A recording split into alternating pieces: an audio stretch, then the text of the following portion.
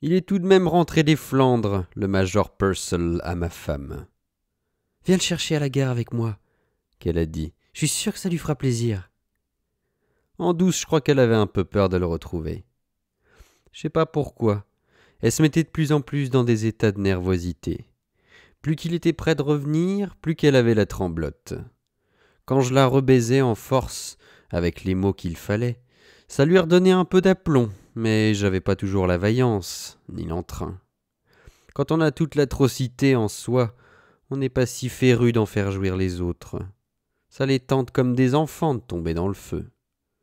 Par exemple, elle me donnait du goût malgré tout pour le vice, et je l'enculais à présent avec bien du plaisir, malgré mes calamités. Le dedans de l'homme, c'est un métro, il y a des étages et des étages. À mesure qu'on va plus bas, on se dégoûte davantage. Mais il y a quand même des distributeurs, même au plus bas, avec du chocolat, des petits jouirs, des bonbons. Quanta, il me prévenait. Lui casse pas le pot trop souvent à ta ménesse. Laisse-lui quelque chose à désirer, c'est une insatiable. Plus que tu lui en fais, plus elle en imagine. En 1908, j'en avais une toute pareille à Bizerte, en Tunisie. À la fin, elle reluisait plus qu'avec un sable dans la fente, un vrai avaleur, tu te rends compte? Je l'ai refilé un Sidi, qui se démerde. Quant à nous, question qu'on aille à la gare chercher Purcell, ça lui plaisait pas, ça nous faisait remarquer. Je vais vous donner aumône et bijoux, ça fera mieux famille. De quoi qu'il avait peur, qu'on nous enlève, il devait avoir des avertissements. Les gares anglaises, même quand c'est une parfaite salade de bagages et de voyageurs, et trains qui poustoufent, c'est encore bien sournois, discret et méditatif. Déchirement, contentement de se retrouver, tout ça prend des gants. Les quais à l'époque étaient encore en bois et fort surélevés. Les griffetons kaki s'en allaient dans la douceur vers leurs wagons, comme sur la pointe des pieds, avec armes et bagages. Ils avaient des bonnes manières de fantômes déjà. Son train à Purcell est arrivé avec du retard. Il avait l'air assez content de nous retrouver. Il montrait de l'amitié pour un Anglais. En uniforme, il faisait drôle, avec son bide comme on n'en voit plus, et des leggings en mollets bouffis à péter.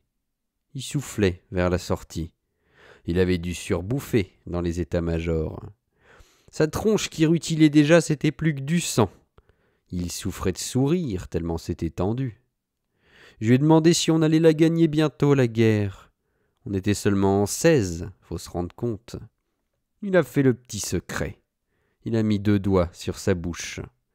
Il avait parlé à tous les généraux depuis Calais jusqu'à Rouleur. Il avait cassé la croûte avec eux. On va rentrer à pied, qu'il a décidé. Il a renvoyé sa voiture qui l'attendait. On est passé par les parcs il faisait doux. Allez-vous-en qu'il a commandé à Aumône et Bijoux. Avec deux livres chacun, ils sont barrés. Arrivés nous à l'appartement, je voulais me barrer, revenir plus tard. Le moment était délicat. Il ferme tous les rideaux, toutes les portes. Mais non, voyons, Ferdinand. Il insiste. Restez donc. Je n'ai rien de secret pour vous. Il se lave même pas. Il se déboutonne, il nous sort son panet. Une petite bite d'ailleurs, toute violacée aussi. Angèle s'est mise à genoux, l'a pompé bien. Il faisait une bouille ravie. Moi, j'étais pas jaloux, mais j'étais gêné. Je voulais pas gaffer. Restez donc, restez donc. Il me répétait. Il lui déchirait toute sa robe. Il voulait pas qu'elle se déshabille elle-même. Il a serré tout. Elle était plus qu'en morceaux. Il griffait aussi. Il lui tenait le cou, comme pour l'étouffer. Ça faisait du râle. Après, il s'est jeté sur sa motte. Il l'a fait reluire en la bouffant. Allez-y maintenant, Ferdinand, allez-y, mon vieux, qui m'a encouragé. Aimez-la bien, surtout aimez-la bien.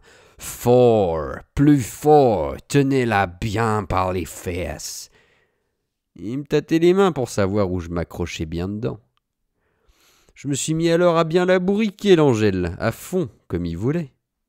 On y était dans le retour de l'enfant prodigue, en plein. Lui s'était renversé dans le beau fauteuil en soie et tout à fait nu, rutilant et tendre, le Purcell, au fer. Il avait sûrement plus de quarante berges déjà. Il avait plus de pudeur à perdre, ni de temps non plus. Il se branlait dur sur sa petite bite pendant que je bossais. Ça durait longtemps, la séance.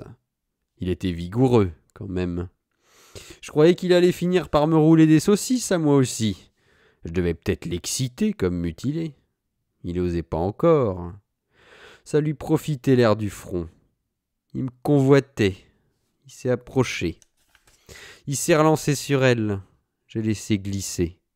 Pendant qu'il se trémoussait, je me suis faufilé. Il me fallait du repos.